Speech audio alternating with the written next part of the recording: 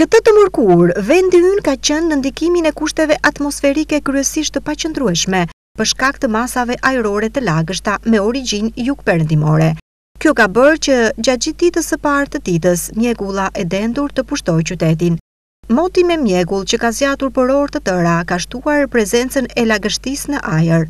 Po kështu, gjatë orëve të para të ditës nuk kanë munguar dhe vranësirat. Reshjet e shiut me intensitet të ulët dhe mesatar në pjesën më të madhe të territorit në formën e shtrëngatave, si dhe rebeshet lokale, nuk do të mungojnë. Era pritet të fryjë me drejtimin jugperëndimor me intensitet nga katër deri në dhjetë metra për sekondë, ndërsa gjatë vijës bregdetare e lugina, era pritet të jetë tepër intensive dhe problematike me shpejtësi nga katërmbëdhjetë deri në njëzet e katër metra për sekondë, duke bërë që valëzimi në detin Adriatik e Jon të jetë i lartë i forcës nga gjashtë deri në tetë ballë.